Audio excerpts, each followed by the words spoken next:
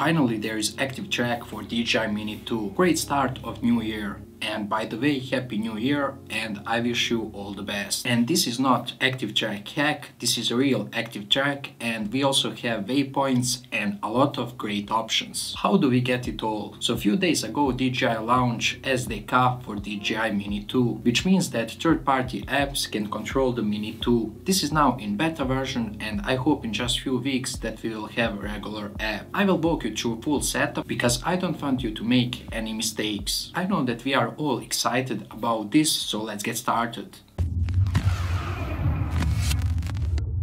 First I need to mention that this is only in Android phones, but it will be very soon on iOS also. First thing that you need to do is to download app called Rainbow for DJI drones. Then connect controller to your phone and turn on the Mini 2 like you will do with DJI Fly app, but you will not use that app, you will use of course Rainbow. So when you are in the app and you want to take off, you will need to connect with your DJI account. Also Rainbow is not free app, but we will have 5 flights to test out the new features. When you log in in your account, it will ask you for your phone number to verify yourself. We have, as I said, active track, waypoints, follow me, hyperlapse, these are features that we are waiting for so long. For follow me you have different settings like altitude and shooting target height. When you set up you can start. I tested this near the trees so I didn't crash, which is great. The footage is a little bit jittery as you can see, but that's completely normal in this beta version. But footage is useful, that's for sure. Also I need to say that there is a little bit lag on the screen, but as I said it's beta version and it's not yet the final one. So I test follow me and that mode works perfectly well. I had one situation when I nearly crashed. I know that Mini 2 doesn't have sensors, but for some reason he didn't run into tree. The next feature that I test is Track Me. On this feature I spent 3 flights and on each one works for around 1 minute and then the app lost me. That happened every time, so definitely they need to work on this mode. In the first minute footage is usable,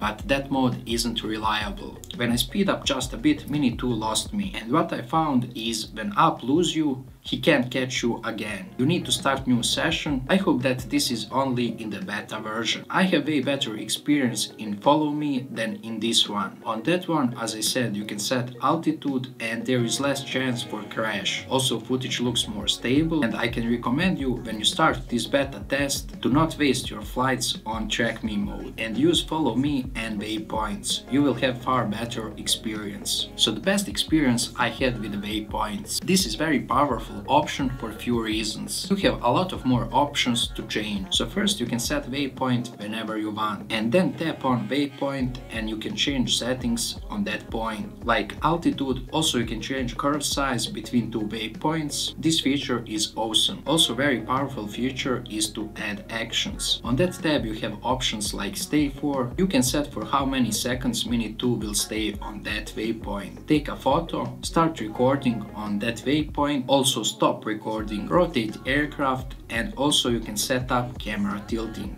This feature is very powerful, you can have different shots during your route. I did not have any problems with waypoints. So finally we have active track and waypoints on DJI Mini 2. This is actually a game changer. You have 5 free flights on this app. After that app costs 25 USD dollars. Also there is Litchi app but you don't get anything for free. If you like this video tell me in the comments do you want me to purchase this app so we can do more examples. Also tell me in the comments comments what do you want for me to test out. I hope that you like this video and if you do please hit that like button and subscribe to my channel and see ya in the next one.